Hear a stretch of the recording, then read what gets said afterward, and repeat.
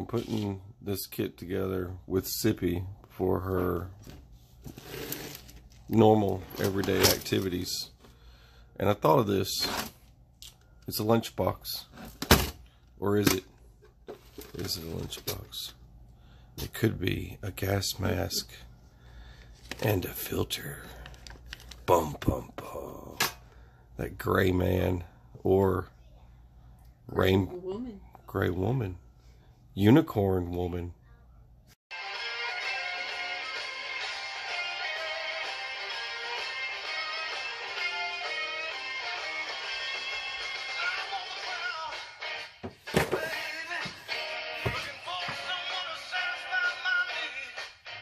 All right, welcome back to SOS. I'm Staff Sergeant Badass. Today we're going to be doing part of the BOV series. This is just things to think about.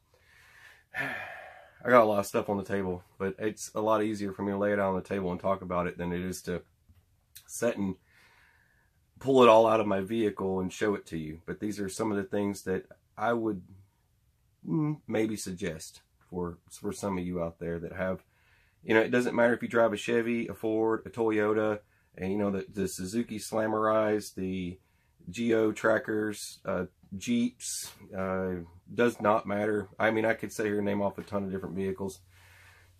Did I say Toyota? I think I said Toyota. Got to make sure. You know, you got those 4Runner guys out there, and you got people that drive FJs and stuff like that. So I'm gonna pull you over here, and we're gonna talk about stuff. Now, some of this stuff might get a little bit crazy. I'm talking SHTF scenario, not just your daily driver routines and and so forth, but also options for you in a situation where you're it's a BOV. It, it is what it is, a bug out vehicle. So let's get into it and let's talk about some of these items.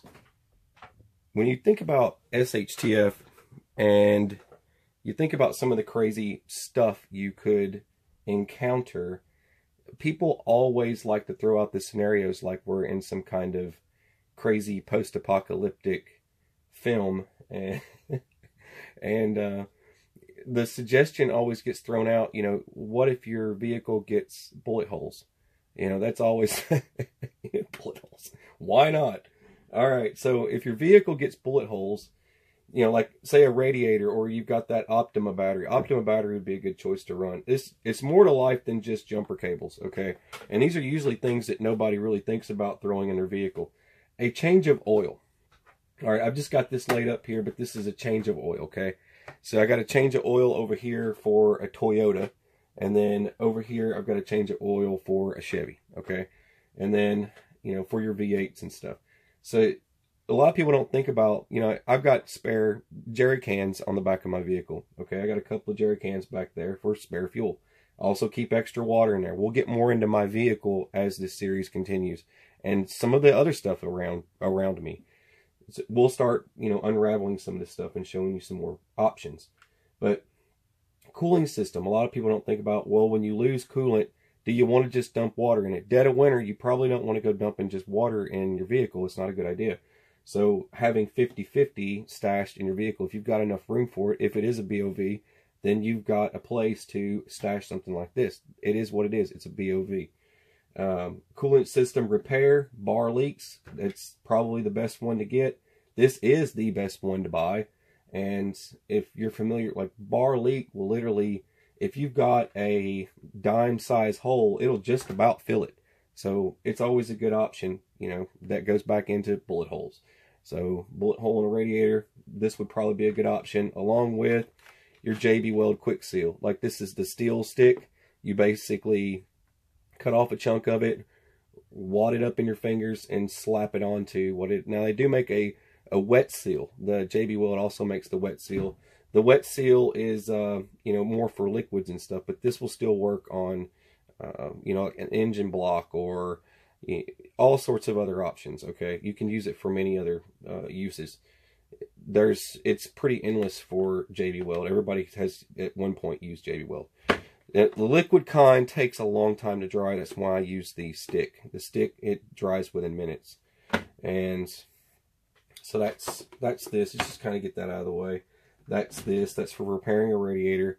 And then going with repairing, when it comes to your um, your coolant hoses, all your hoses, Now, what you're going to want for coolant hoses, if you happen to get a tear or hole in it, you're going to want some Gorilla Tape. Gorilla Tape works great on rubber hoses. I've had to use it before on a tear in a hose, and it repaired it, and it lasted for a very long time before I actually had to go buy a hose. So it's good to know.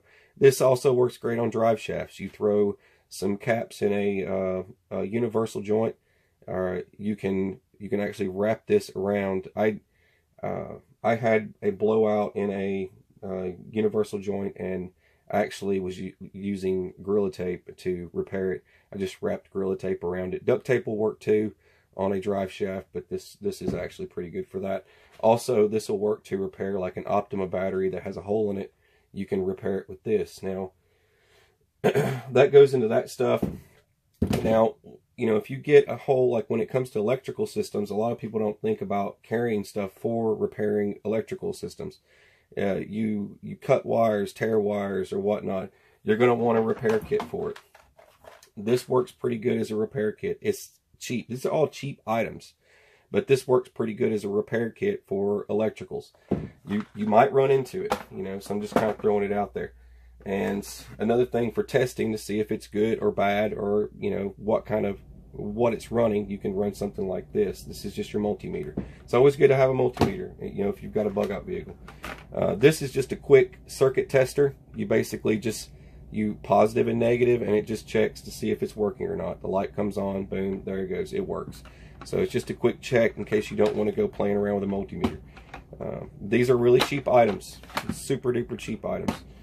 Um, uh, hole in your tire. Uh, you've got spares, you know, everybody's got a spare. I keep a spare, and um, I also keep a uh, pump. I don't have the pump sitting here handy, but usually it's just sitting right here, and I just grab it. But I think it's already in my it's in my truck, and I forgot to grab it. But I've got a fast um, uh, air compressor, so pump just to pump my tires up. But we'll get more into that stuff later. But this is just a quick uh, tire repair kit. It's cheaper than buying the uh, full on full kit. There's there's one that's like six bucks, or you can do this one that's like a dollar and a dollar. But this is your rubber cement, and then you get three strips for repairing. And the way this works, this is your grinder, and then this is your insert. So it's a double. It you know it works. It's a two in one type screwdriver, but it'll repair your tires. Okay, so if you get a uh, I don't know, goes back to bullet holes, I guess. I don't know but uh, or a nail, whatever it is. People ask me the strangest questions, so I have to throw this out here. Uh, all right, back to this stuff. Epoxy. This stuff works on pretty much anything concrete to metal, and it's five minute epoxy. This stuff is great, quick, fast, in a hurry. You need to repair something that's, you know, it, this could go into electrical. This could go into a, uh, a, a you know, anything from repairing a headlight or repairing I don't know just about anything freaking windshield wipers I don't know. It's something you know there's all sorts of uses you could use this thing for. I mean I'm not going to get into all of them but it's just another option for you to carry. And it's cheap it's affordable it's not something expensive. Uh, electrical tape I keep tons of electrical tape. I always do. I always keep WD-40 this works great if you want to clean an engine up like the top side of it and wipe it down. This also works on you know your uh, certain types of components where you get water in it, so if you get like water in some electrical components, you can blow it out with some WD-40. I know it, a lot of people probably don't use it for that, but it, you got a leaky, you know, squeaky hinge, you can fix that. You know, you got a mechanism that's rusted up and you need it to move, then you've got something like that. I do the small one. Uh, small one I usually keep in the 4Runner. I also keep a little, uh, this is just your smaller set of pliers. This is like a buck, uh, El Cheapo, uh, uh, wrench for just quick grab and, and adjustments. Just a flashlight. I keep it with all this stuff. And another option to have is the roadside emergency flares. These things are great. The, I'm, I do not want to go playing around with one of these, but those of you that have never used it, this one actually comes with a glow stick, so you can have a techno dance party by your vehicle while you're throwing flares everywhere. But the way these things work, you know, I'm not going to strike one, but I'll show you one you know, for those of you that have no idea, because, you know, I care. But the way these things work, the cap comes off, you know, you've got your cap right there, and there's your striker, okay? And you pull it off all the way, You strike this against this, and boom, and in an instant it becomes this flare that lasts for a very, very long time. Uh, this could also work in a roadside situation. Say you're stranded on the roadside and it's dead of winter and you want to get fire started. There you go. You got an instant fire starter. But it has its other uses. It's great for signaling and letting people know, hey, look, I'm over here, or you know, don't hit my truck or whatever. You know, you can lay it down, and it's definitely a signaler. It's going to let people know that something's up. Uh, quick, fast, in a hurry to fix a tire. Not only do you have your tire repair kit, but you also have something you can just jab it in, and it's an instant spare tire. This one's actually better than the Fix-A-Flat this one is basically an instant spare tire. So if you, even if you get a gash in your tire that's pretty deep, then you can jab this sucker in there and boom, you're back on the road again. Even if you've got low, uh, uh, low tire pressure, you could add this as well to boost your tire up if you, for some reason, your compressor's not working, but you could actually use this. HEET is great. It's fuel injector cleaner. It's also great for keeping your lines from freezing over if you put one of these per like 16 gallons or so, I can't remember the exact amount. I, I don't want to tell you a lie to you. You can read it for yourself. There's words on the back of here. It tells you all that. But you, I keep this in my truck. This is something that I constantly add to my truck. And it's because I don't want anything happening to my fuel, you know. Also helps with fuel sweating, you know, your tank's wet, stuff like that. It causes water and it causes uh, truck not run so good. So uh, these are items that I can keep in my vehicle. Mystery. The Marvel Mystery Oil is amazing. You can add it to freaking everything. Two stroke, four stroke, uh, oil, gas. You can add it as a, it's a rust remover. You can scrub off rust with this bad boy. You can lubricate parts with it. Uh, I don't think there's any off-road dude out there that wouldn't say they keep that they don't keep uh, Marvel in their car. But this stuff is amazing. It, it works as a fuel treatment. It'll help your vehicle run better. Uh, it gets better gas mileage. It's uh, there's so much stuff you can add it to every type of oil that there is. I mean, it's just insanity the amount of stuff that uh, Marvel actually does. I keep extra zip ties, not just not just these, but I also keep the monster zip ties. I've got monster zip ties already in there. Uh, another option to have is now, um, a subscriber and friend of mine sent this in, and I already had the manual one, the, the one you actually pump by hand, but he sent this one in. I, I thought it was pretty interesting, so I'm going to go ahead and open it up. And, hey, I don't like having to sit there and manually pump fuel, and I can use this for all kinds of different uses. Um, just putting gas in my lawnmower, why not? But this thing's pretty neat, and you can probably look this guy up online somewhere. Uh, but this goes into the canister or your jerry can. This will screw onto your jerry can and you have a different attachment back here. All the different attachments for different types of jerry cans or containers. And right here it's pretty easy to operate. There's your uh, fuel pump right there.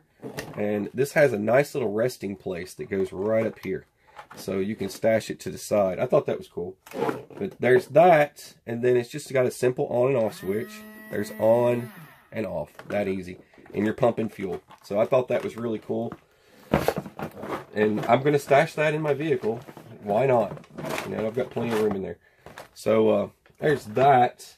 And what else I have here? Now, SHTF scenario. Now, I keep these in my truck, and I wanted to share this with you. I've sharpened these. You can tell that the front of them are quite clean, and they're pretty sharp. I've had these for a very long time, and I've used them many, many times, especially when Sippy loses the keys to the locks. That happens, and she loses my keys sometimes. But anyways, this won't start a truck when she loses my truck keys, but it will unlock things for me that I need unlocked. And if you've paid attention to the channel, I've mentioned many times that if you keep a map in different locations of warehouses and whatnot, if it is a total collapse scenario, then you might actually need something like this. I'm just saying. But I keep these in there. You can use them for different things, you know. Uh, bonk somebody over the head with or whatever you need to do. I don't know. But anyways, I thought I would share that. I, this is another thing. It's Maxpedition. It's uh, something that I keep uh, by my. Uh, all vehicles have carpet, and this sticks directly to carpet. And this people always show these magnetic type ordeals. I don't want a magnetic item scratching up my firearm. So I keep something like this for my Glock along the side of uh, my uh, where my four-wheel drive shifter is. So it just kind of sits right there, and I just drop my Glock right in there, and then that's for my spare magazine. Or if you don't have a flashlight on yours, you can keep your flashlight in there and then store your Glock right in there, just like that. I keep that along the side. And these are just things to think about. Um, a change of oil is always important. Uh, I always, uh, I always think about it. it's like, hey man, you know, if it was an SHTF scenario and I needed more oil and another oil filter, hmm, that would require a mission of insanity, and I don't think I want to be involved in that. So I would rather have a change of oil and, and, and a spare oil filter in my vehicle. I'm just saying. I don't know if any of this stuff is going to be a little bit overkill for some of you, but uh, it's not for me. So this is what I'm doing, and uh, you can do it if you want to. And uh, I figured I would share. And that's what I'm doing today. I'm sharing. All right. I love you guys. You're watching SOS. I'm Staff Sergeant Badass. This was things to think about. And uh, I want you guys to take it easy. And I hope this gives you some ideas. And share it with your buddies. Please share it with your friends, your hamsters, and all that stuff. Your dog and cat, and small turtles. And uh, if you keep a, uh, a lobster in your house, I don't know. Whatever you keep as your, as your pet. All right. I'm rambling again. All right. God bless you guys and gals. We love you. And uh, take it easy.